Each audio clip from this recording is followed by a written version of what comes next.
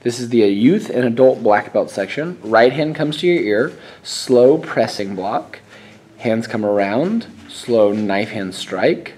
Then right leg steps through into a front stance. X block, fist low, X block, knife high. Left hand grabs, wrist roll. Right hand aims, shift into a back stance, punch with your right hand resting on your left punch.